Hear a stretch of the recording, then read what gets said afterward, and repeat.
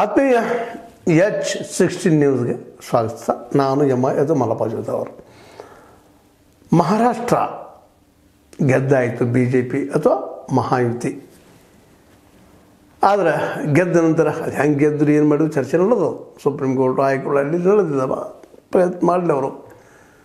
ಮತ್ತು ಚುನಾವಣೆ ಅಂದಾಗ ಎಲ್ಲ ಕಡೆ ನಡೆಯೋದನ ಗದ್ದಲಗಳು, ಮತ್ತೇನು ಮಾಡೋದು? ಇ ವಿ ಎಮ್ಗಳ ಗದ್ದಲ ನಾವು ಕೇಳ್ತಾ ಇದೆ ಇಲ್ಲಿವರೆಗೆ. ಆದರೆ ಅದನ್ನು ನಮ್ಮ ಚುನಾವಣಾ ಆಯೋಗಕ್ಕೆ ಮೇಲೆ ಹಾಕ್ಕೊಳ್ತಾ ಇಲ್ಲ. ಗೆದ್ದಾಗ ನೀವು ಸುಮ್ಮನಾಗ್ತೀರಿ ಸೋತಾಗ ಯಾಕೆ ತೆಗಿತೀರಿ ಅಂತ ಕೇಳ್ತಾ ಇದ್ದಾರೆ. ಸತ್ಯರೋಧ ಸುಳಿನಲ್ಲ.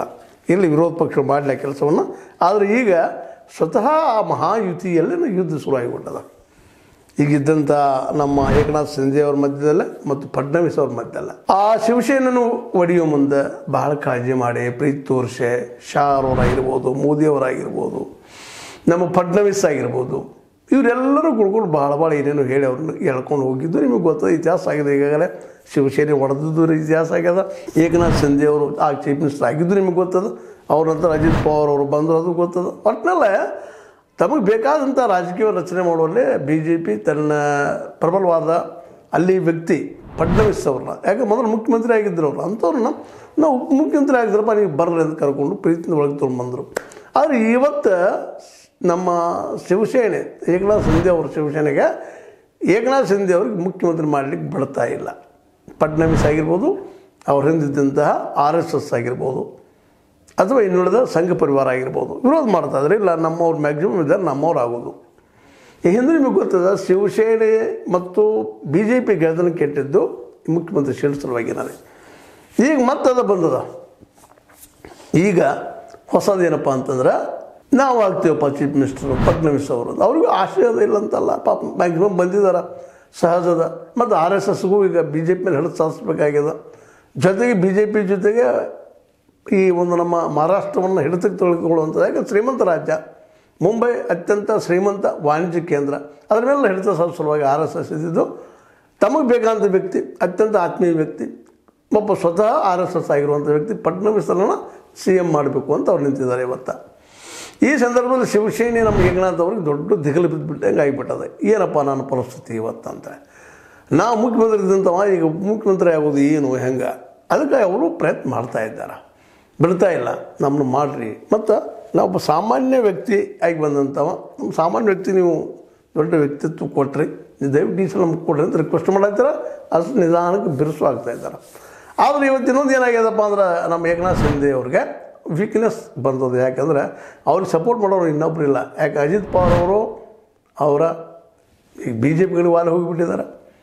ಅವರು ಮೊದಲು ಅಜಿತ್ ಪವಾರ್ ಸ್ವತಃ ಚೆಕ್ಕಪ್ಪಗೆ ಕೈ ಕೊಟ್ಟು ಬಂದಂಥವ್ರು ಅವರು. ಪಾಪಿ ಸಿಂಧೆ ಅವ್ರ ಜೊತೆಗೆ ಮೊದಲಿಂದು ಸೈದ್ಧಾಂತಿಕ ದೂರ ಇದ್ದಂಥ ವ್ಯಕ್ತಿ ಅವರು. ಹೀಗಾಗಿ ಅವರು ಬಿ ಜೆ ಪಿ ಸಪೋರ್ಟ್ ಮಾಡುವಂಥ ಸಾಧ್ಯತೆಗಳು ಹೆಚ್ಚಾಗಿದ್ದಾವೆ ಯಾಕಂದರೆ ಅವ್ರಿಗೆ ಆರ್ ಎಸ್ ಎಸ್ ಗೆಲ್ತನೂ ಬೇಕು, ಎಲ್ಲರೂ ಬೇಕು. ಶರದ್ ಪವಾರನ್ನು ಈಗ ಸೋಲಿಸಿದ್ದಾರೆ.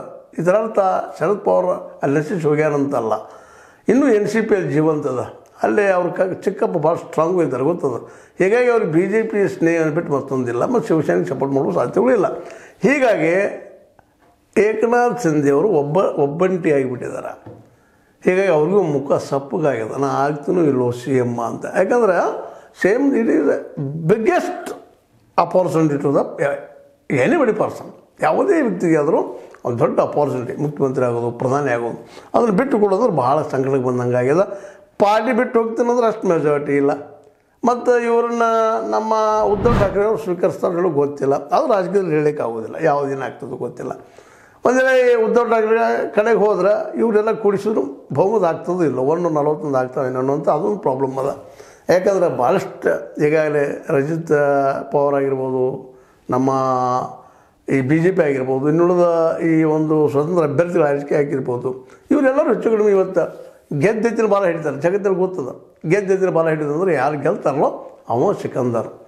ಸೋತಾವ, ಪಾಪ ಸತ್ತು ಹೋಗ್ಬಿಟ್ಟ ಗೆದ್ದವ ಸೋತ, ಸೋತಾವ ಸತ್ತ ಅಂತ ನಮ್ಮಲ್ಲಿ ಗಾದಿ ಮಾತದ ಅದರ ರೀತಿಯಾಗಿಲ್ಲ ಇವತ್ತು ನಮ್ಮ ಏಕನಾಥ್ ಸಿಂಧಿ ಅವ್ರಿಗೆ ಅನಾಥ ಪ್ರತಿ ಕಾಡ್ತಾ ಇರ್ಬೋದೇನೋ ಆದರೆ ಈ ಎಲ್ಲ ನಡುವೆ ಈ ಕಸರತ್ತಿನ ನಡುವೆ, ಈಗ ಅವ್ರಿಗೂ ಅಷ್ಟೇ ಕಷ್ಟ ಅದ. ಯಾಕಂದ್ರೆ ಈಗಾಗಲೇ ಹೆಸರು ಕೆಡಿಸ್ಕೊಂಡಿದ್ದಾರೆ ಬಿ ಜೆ ಪಿಯವರು ಇಲ್ಲ ಪಕ್ಷ ಉಳಿಯೋರು ಶಿವಸೇನೆ ಬಿಡೋದು ಅಂತ ಇವತ್ತೇನೋ ಭಾಳ ಠಾಕ್ರೆಯವ್ರ ಮೇಲೆ ವಿಶ್ವಾಸ ಇದ್ದವರು ನಮ್ಮೊಬ್ಬ ಭಾಳ ಠಾಕ್ರೆ ಪ್ರಚಾರ ಮಾಡಿಕೊಂಡು ಬಂದರು. ಇವತ್ತು ನಮ್ಮ ಅವರು, ಆ ಶಿಂದೆ ಅವ್ರನ್ನ ಬದಿಗೆ ಸೇರಿಸಿದ್ರೆ ನಾಳೆ ನಮಗೆ ಕೆಟ್ಟ ಹೆಸರು ಬರ್ತದಪ್ಪ ಅಂತ ಯಾಕಂದ್ರೆ ಕರ್ಕೊಂಡು ಬಂದ್ರೆ ತಮ್ಮ ಬೇಕಾದಾಗ, ಈಗ ಬೇಡದ ಹೊರಗೆ ಹೋಗ್ತಾ ಇದ್ದಾರಪ್ಪ ಅನ್ನೋಂಥ ಮಾತು ಬರ್ತದೆ. ಅದು ರಾಜಕೀಯದಲ್ಲಿ ಒಳ್ಳೆ ಮೆಸೇಜ್ ಹೋಗುವುದಿಲ್ಲ. ಮತ್ತು ವಿರೋಧ ಪಕ್ಷಗಳಿಗೆ ಇನ್ನಷ್ಟು ನಾವು ಆಹಾರ ಕೊಟ್ಟಂಗೆ ಆಗ್ತದೆ ಅಂತೇಳಿ ಅವ್ರಿಗೂ ಅನಿಸ್ತದೆ. ಯಾಕೆ ಇವತ್ತು ವಿರೋ ವಿರೋಧ ಪಕ್ಷ ಸ್ಟ್ರಾಂಗ್ ಆಗಿ ನಿಂತದ. ಅದಕ್ಕಾಗಿ ಇವತ್ತಿನ ಈ ರಾಜಕೀಯ ಅಲ್ಲಿದು ಭಾಳ ಮಹತ್ವದ್ದಾಗಿದೆ ಏನು ಆಗಬಹುದು ಅಂತೇಳಿ ಸಂಧ್ಯವ್ರು ಇಲ್ಲೇ ಉಳಿತಾರ. ಬೇಡ ನಮ್ಮ ಗೌರ್ಮೆಂಟ್ ಆಗಲಿ, ಸ ಅಡ್ಡಿ ಇಲ್ಲ, ನಾವು ವಿರೋಧ ಪಕ್ಷ ಆಗಿ ಉಳಿತೀನಿ ಅಂತ ಹೊರಗೆ ಹೋಗ್ತಾರೆ. ಅದು ಸಾಧ್ಯಗಳಿದ್ದಾವೆ ಒಂದು ವೇಳೆ ನಮ್ಮ ಉದ್ಧವ್ ಠಾಕ್ರೆ ಅವ್ರ ಜೊತೆಗಾಗಲಿ, ನಮ್ಮ ಅಜಿತ್ ಪವಾರ್ ಅವ್ರ ಜೊತೆಗಾಗಲಿ, ರಾಹುಲ್ ಗಾಂಧಿ ಅವ್ರ ಜೊತೆಗಾಗಲಿ ಹೋದರೂ ಗೌರ್ಮೆಂಟ್ ಆಗದೇ ಇದ್ರು ಸಹಿತ ಒಬ್ಬ ಸ್ವತಂತ್ರ ವ್ಯಕ್ತಿ ದುಡ್ಕೊಂಡಂಗೆ ಹೋಗಿ ಆಗ್ತದೆ. ನಮ್ಮ ಶಿವಸೇನೆಯನ್ನು ಉಳಿಸ್ಕೊಂಡು ಹಂಗೆ ಉಳಿಸ್ಕೊಂಡಂಗೆ ಉಳಿಸ್ಕೊಂಡು ಹೋಗೋಂಗೆ ಆಗ್ತದೆ ಅನ್ನೋದು ಭಾವ ಬರೋದು. ಯಾಕಂದ್ರೆ ಮೂಲತಃ ಉದ್ಧವ್ ಠಾಕ್ರೆ ಆಗಿರ್ಬೋದು ಸಿಂಧೆಯವರಾಗಿರ್ಬೋದು ಇವರೆಲ್ಲ ಠಾಕ್ರೆ ಅವರ ಒಂದು ಇದರಲ್ಲಿ, ಏನೋ ಆವರಣದಲ್ಲಿ, ಆತ್ಮೀಯ ಸಂಬಂಧದಲ್ಲಿ ಬೆಳೆದಂಥವ್ರು. ಸಿಡಿದು ಅವ್ರ ಹೋಗ್ಬೋದಲ್ಲ ಬದಿಗೆ? ಆಗ ಮತ್ತೆ ಬಿ ಜೆ ಪಿ ಏಕ್ ಏಕಾಂಗಿ ಆಗ್ಬೋದಾ ಅನ್ನುವಂಥದ್ದು ಒಂದು ಭಯ ಅದ. ಹೀಗಾಗಿ ಈ ಒಂದು ಕದನಕ್ಕೆ ವಿರಾಮ ಮಾಡೋ ಸಲುವಾಗಿ ಇವತ್ತು ಮೋದಿ ಮತ್ತು ಶಾ ಅವರು ಜಂಟಿ ಒಂದು ಪ್ರಯತ್ನ ಮಾಡ್ತಾ ಇದ್ದಾರೆ. ಅದಕ್ಕೆ ಮಹಾಯುತಿ ನಾಯಕರೆಲ್ಲ ಕೂಡ್ಕೊಂಡು ಡಿಸ್ಕಷನ್ ಮಾಡಿ, ಅವ್ರು ಭೇಟಿಯಾಗಿ ಯಾರನ್ನು ಸಿ ಎಂ ಮಾಡಬೇಕು? ಸಿ ಎಂ ಯಾರನ್ನು ಮಾಡಿದರೆ ಹೆಚ್ಚು ಯೋಗ್ಯ ಅನ್ನೋ ಒಂದು ನಿರ್ಣಯಕ್ಕೆ ಆ ಒಂದು ವಿಷಯವನ್ನು ಈ ಮೋದಿ ಮತ್ತು ಶಾರ್ ಅವ್ರಿಗೆ ವಹಿಸಿದ್ದಾರೆ. ಬಟ್ ಇಲ್ಲೊಂದು ಒಂದು ಪೇಚ್ ಏನದಪ್ಪ ಅಂತಂದ್ರೆ ಪೂರ್ತಿ ಆರ್ ಎಸ್ ಎಸ್ ಒಂದು ಸಂಘ ಪರಿವಾರ. ಫಡ್ನವೀಸರಿಂದ ನಿಂತು ಬಿಟ್ಟದೆ ಇವತ್ತು. ಆರ್ ಎಸ್ ಎಸ್ಸನ್ನು ಮೀರಿ ಇವತ್ತು ಮೋದಿ ಶಾ ಅವರು, ಸಿಂಧೆ ಅವ್ರನ್ನ ಚೀಫ್ ಮಿನಿಸ್ಟರ್ ಮಾಡ್ಬೋದಾ ಅನ್ನೋದು ಒಂದು ಸಮಸ್ಯೆ ಅದಿಲ್ಲ ಯಾಕಂದರೆ ಈಗಾಗಲೇ ಆರ್ ಎಸ್ ಎಸ್ದಲ್ಲ ಒಂದು ಮಾತು ಅದ. ಏನಪ್ಪ ಅಂತಂದ್ರೆ ನಾವು ಭಾಳ ನಮ್ಮ ಮಿತಿ ಮೀರಿ ನಾವು ಮೋದಿ ಅವ್ರನ್ನ ಬೆಳೆಸಿದೀವಿ ಏನೋ ಅಂತಾರೆ. ಯಾಕಂದ್ರೆ ಇದೇ ರೀತಿ ಅವ್ರು ಸೈಲ್ ಬಿಟ್ಕೋದು ಹೋಗಿಬಿಟ್ರೆ ಬೆಳಗೋದು ಹೋಗಿಬಿಟ್ರೆ ಆಮೇಲೆ ಕಂಟ್ರೋಲ್ ಇಟ್ಕೊ ಇಟ್ಕೊಳ್ಳೋಕೆ ಸಾಧ್ಯ ಇಲ್ಲ ಅವರನ್ನು. ಅನ್ನುವಂಥ ಭಯನೂ ಆರ್ ಎಸ್ ಎಸ್ ಹೀಗಾಗಿ ಮೋದಿ ಶಾರ್ ಅವರು, ಸಪೋಸ್ ಏನಾದರೂ ಸಿಂಧಿ ಅವ್ರ ಹೆಸರನ್ನ ಏನು ಮಾಡಿದ್ರಪ್ಪ, ತಿಳಿಸಿದ್ರು, ಹಾಗೆ ಮಾಡ್ರಪ್ಪ ಅಂತಂದ್ರೆ ಆಗ ಮಾಡ್ಬೋದಾ ಆರ್ ಎಸ್ ಎಸ್ ಅಂತ ಒಂದು ಆರ್ ಎಸ್ ಎಸ್ ಈ ಸಲ ಮೋದಿಯವ್ರ ಮಾತಿಗೆ ಏನಪ್ಪ ಬಗ್ತದನ ಅನ್ನುವಂಥ ಮತ್ತೊಂದು ಮಾತು. ಮತ್ತು ಪಟ್ಟಣ ಸಕ್ಸಸ್ ಅದು. ನಾವು ಇವತ್ತು ಸಿ ಎಂ ಆಗಲೇಬೇಕು ಅನ್ನೋ ತಟ ಅವರು ಯಾಕಂದ್ರೆ ಅವರು ಕಟ್ಟಿದಾರ, ಬೆಳೆಸಿದಾರ, ಸಾಕಷ್ಟು ಓಡಾಟ ಮಾಡಿದ್ದಾರೆ ಸಿಂಧಿ ಅವರು ಮಾಡಿದ್ದಾರೆ ಅಜಿತ್ ಪವಾರ್ ಅವರು ಮಾಡಿದ್ದಾರೆ ಆದರೆ ಹೆಚ್ಚಿನ ಸೀಟ್ ಯಾರೂಪ ಇಲ್ಲೇ, ಸರ್ಕಾರ ರಚಿಸೋಲ್ಲ ಅಂದಾಗ ಬಿ ಜೆ ಪಿ ಮತ್ತು ಆರ್ ಎಸ್ ಎಸ್ಗೂ ಅವ್ರು ಬಿಟ್ಟುಕೊಡು ಮನಸ್ಸಿಲ್ಲ. ಫಡ್ನವೀಸರನ್ನ ಮಾಡಬೇಕು ಅನ್ನುವಂಥ ವಿಚಾರದ ಹೀಗಾಗಿ ಒಂದು ಇಲ್ಲಿ ತಿಕ್ಕಾಟ ಆಗ್ಬೋದು ಆರ್ ಎಸ್ ಎಸ್ ಮತ್ತು ಬಿ ಜೆ ಪಿ ನಡಕ ಬಂದೇಳಿ ಸಿಂಧಿ ಅವ್ರು ಸಪೋರ್ಟ್ ಮಾಡಿದ್ರೆ. ಇಲ್ಲ ಫಡ್ನವೀಸರ್ ಮೇಲೆ ಮುಗಿದೋಗ್ಬಿಟ್ಟಿದ್ದು ಪ್ರಶ್ನೆ ಇಲ್ಲ. ಫಡ್ನವೀಸರ್ ಮಾಡಿ ಮಾಡ್ತಾರೆ ಭಾಳಷ್ಟು ಸಲ ಅಂತ ಇದ್ದಾರೆ. ಯಾಕಂದ್ರೆ ಬಿ ಜೆ ಪಿ ಆದರೂ ಸಹಿತ ಈಗಾಗಲೇ ಒಂದು ಒಂದು ರೀತಿಯಿಂದ ಮೋದಿ ಶಾರು ಒಂದು ರೀತಿಯಿಂದ ಇಲ್ಲಿ ಬೆಂಡ್ ಆಗಿದ್ದಾರೆ, ಬಗ್ಗಿದ್ದಾರೆ ಅಂತ. ಇವತ್ತು ಕೇವಲ ಮೋದಿ ಶಾರ್ ಅವರಿಂದ ಇಲ್ಲೇ ಮಹಾರಾಷ್ಟ್ರದಲ್ಲೇ ಕೆಲಸ ಆಗಿಲ್ಲ. ಅವ್ರ ಮುಖದಿಂದ ಆಯ್ಕೆ ಆಗಿಲ್ಲ. ಸಿಂಧಿ ಅವ್ರ ಪಾತ್ರ ಭಾಳ ದೊಡ್ಡದ. ಮುಂದೆ ಅದರಲ್ಲೂ ನಮ್ಮ ಭೇಟಿ ಏನು ಆತ್ಮೀಯ ಭಯಣ ಭೇಟಿ ಅಂತೇಳಿ ಒಂದು ತಿಂಗಳಿಗೆ ಸಾವಿರದ ಐದುನೂರು, ಎರಡು ಸಾವಿರ ರೂಪಾಯಿ ಕೊಡುವಂಥದ್ದು ಅದು. ಮತ್ತೆ ಅದು ಕೆಲಸಗಳನ್ನ ಮಾಡಿ ಒಂದು ತಮ್ಮ ಹೆಸರು ಮಾಡ್ಕೊಂಡಿದ್ದಾರೆ ಸಿಂಧಿ ಅವರು. ಮತ್ತು ಮರಾಠಿ ಮನುಷ್ಯಪ್ಪ ಅನ್ನುವಂಥ ಒಂದು ಮಾತುಗಳದ ಮ- ಮರಾಠಿ ಮಾಣೂಸ್ ಅಂತೇಳಿ ಮತ್ತು ನಿಜವಾದ ವಾರಸ್ದಾರಪ್ಪ ಯಾರು ಇವತ್ತು? ಠಾಕ್ರೆ ಅವರಿಗೆ ಅಂದ್ರೆ ಸಿಂಧಿ ಅವರು ಅನ್ನೋಂಥ ವಾತಾವರಣದ ಇಂಥ ಸಂದರ್ಭದಲ್ಲೇ ಅವರನ್ನು ಎದುರು ಹಾಕೊಳ್ಳೋದು ಅಷ್ಟೇ ಕಷ್ಟ ಅದ. ಬಟ್ ಅವ್ರ ಹೆಸರು ಹೇಳಿದ್ರು ಸಹಿತ ಆರ್ ಎಸ್ ಎಸ್ ಎಷ್ಟರ ಮಟ್ಟಿಗೆ ಸಪೋರ್ಟ್ ಮಾಡ್ಬೋದು ಅನ್ನೋ ಒಂದು ಪ್ರಶ್ನೆ ಅನ್ನೋದು. ಹೀಗಾಗಿ ಇವತ್ತು ಮಹಾರಾಷ್ಟ್ರದಲ್ಲಿ ದೊಡ್ಡ ಒಂದು ಇದೊಂದು ರೀತಿ ಏನಪ್ಪ ಅಂದ್ರೆ, ಆ, ಒಂದು ಕೋಲ್ಡ್ ವಾರ್ ಹಾಂ ಒಂದು ತಂಪನೆಯ ಯುದ್ಧ. ಯಾರು ಆಗ್ಬೋದು ಎಂ ಸಿ ಎಂ ಅಂತೇಳಿ ಸಿಂಧೆ ಆಗ್ತಾರೆ? ಫಡ್ನವೀಸ್ ಆಗ್ತಾರೆ. ಫಡ್ನವೀಸರಿಂದ ಮಾತ್ರ ಇವತ್ತು ಆರ್ ಎಸ್ ಎಸ್ ಜೊತೆಗೆ ಸಂಘ ಪರಿವಾರ ಎಲ್ಲರೂ ಎಲ್ಲರೂ ಇದ್ದಾರೆ. ಯಾಕಂದ್ರೆ ನಮ್ಮವ್ರು ಇದ್ದಾರಪ್ಪ ಆಗಲಿ. ಮತ್ತು ಎಲ್ಲಕ್ಕಿಂತ ಮುಖ್ಯ ಅಂದ್ರೆ ಮುಂಬೈ ಮತ್ತು ಜೊತೆಗೆ ಮಹಾರಾಷ್ಟ್ರ ಈ ದೇಶದ ಮೂಗಿದ್ದಂಗೆ. ಇದನ್ನು ಯಾರು ಹಿಡ್ಕೊಳ್ತಾರ? ಅವ್ರ ಅಧಿಕಾರದ ಮೇಲೆ ಸೆಂಟ್ರಲ್ದಲ್ಲಿ ಒಂದು ಹಿಡಿತವನ್ನು ಸಾಧಿಸ್ತಾರೆ ಅನ್ನುವಂಥ ಅಷ್ಟದ ಯಾಕಂದ್ರೆ ಆರ್ಥಿಕವಾಗಿ ಬಲಿಷ್ಠವಾದಂಥ ರಾಜ್ಯ, ಜೊತೆಗೆ ಮುಂಬೈ ಆರ್ಥಿಕ ಸೆಂಟರ್ ಅದ ರಾಜಧಾನಿ ಈ ದೇಶದ. ಅದಕ್ಕಾಗಿ ಈಗಾಗಲೇ ಆ, ಅದರ ಸಲುವಾಗಿ ಸಾಕಷ್ಟು ಹೋರಾಟ ಆಗ್ಯದ ಅದರಲ್ಲೇ ಎಲ್ಲರ ಕೈ ಜೋಡಿಸಿಕೊಂಡು ಮಾಡಿ ಒಕ್ಕಟ್ಟಿನಿಂದ ಮಹಾಯುತಿ ಗೆದ್ದ ಪಟ್ಟಕ್ಕೆ ಇವತ್ತು ಬಂದದ ಹೀಗಾಗಿ ಸಿಂಧಿ ಅವರು ಇವತ್ತು ಸಿ ಎಂ ಆಗೋದು ಎಷ್ಟು ಸಾಧ್ಯ? ಅದು ಅಸಾಧ್ಯ ಅನ್ನೋ ಎರಡು ಚರ್ಚೆ ನಡೆದಿದ್ದಾವೆ.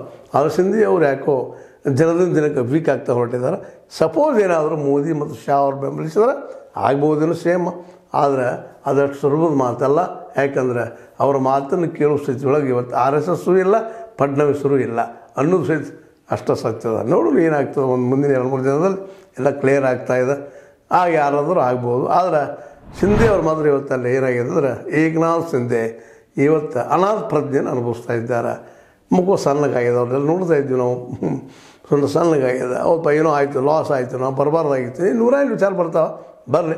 ಆದ್ರೆ ಸೇಮ್ ಆಗಿ ಹೋಗಿದ್ದಾರೆ ಈಗ. ಸಾಕಷ್ಟು ಸುಖಾನು ಅನುಭವಿಸಿದ್ದಾರೆ ಅದನ್ನು ಮೋಸ್ಟ್ಲಿ ಫಡ್ನವೀಸರು ಅವ್ರು ಬಿಟ್ಟು ಕೊಡಲಿಕ್ಕಿಲ್ಲ ಅಂತೇಳಿ ಒಂದು ದೊಡ್ಡ ಅಭಿಪ್ರಾಯ. ಇದಕ್ಕೆ ನೀವೇನಂತೀರಿ? ಶಿಂದೆ ಅವರಿಗೆ ಮುಖ್ಯಮಂತ್ರಿ ಮಾಡ್ಬೋದಾ? ಅಥವಾ ಫಡ್ನವೀಸರು ಹಿಂದೆ ಗಟ್ಟಿಯಾಗಿ ಆರ್ ಎಸ್ ಎಸ್ ನಿಲ್ಬೋದಾ? ಅಥವಾ ಮೋದಿ ಶಾ ಇದ್ದಂಥವ್ರು ಶಿಂದೆ ಬೆಂಬಲಿಸ್ಬೋದಾ? ಇವೆಲ್ಲವೂ ಈ ಮುಂದಿನ ಎರಡು ದಿನದಲ್ಲೇ ಡೆವಲಪ್ ಆಗುವಂಥ ವಿಷಯಗಳು. ಇದು ನಾವು ನೋಡೋಣ ಯಾರು ಮಾಡ್ತಾರೆ ಮಾಡಲಿ. ನಾವು ಅಂತ ಈ ಹೊರಗೆ ನಿಂತಿದ್ದೀವಿ, ನೋಡಾಕಿದ್ದೀವಿ, ಯಾರಾದರೂ ಒಳ್ಳೇದು ಮಾಡ್ರಪ್ಪ ಜನಕ್ಕೆ ಅಂತ ಹೇಳೋನು ಅಂತ ಹೇಳ್ತಾ ನಾನು ಮಾತು ಮುಗಿಸ್ತಾ ಇದ್ದೀನಿ. ಲೈಕ್ ಲೈಕ್ ಮಾಡಿ ಶೇರ್ ಮಾಡಿರಿ ಕಮೆಂಟ್ ಮಾಡಿರಿ ಜೊತೆಗೆ ಸಬ್ಸ್ಕ್ರೈಬ್ ಆಗೋದು ನಿಲ್ಲಿಸ್ಲಿಕ್ಕೆ ಹೋಗಬೇಡ್ರಿ ಅಂತ ಹೇಳ್ತಾ ಎಚ್ ಸಿಕ್ಸ್ಟೀನ್ ನ್ಯೂಸು ಇದು ಸತ್ಯದ ಕನ್ನಡಿ ವಂದನೆಗಳು.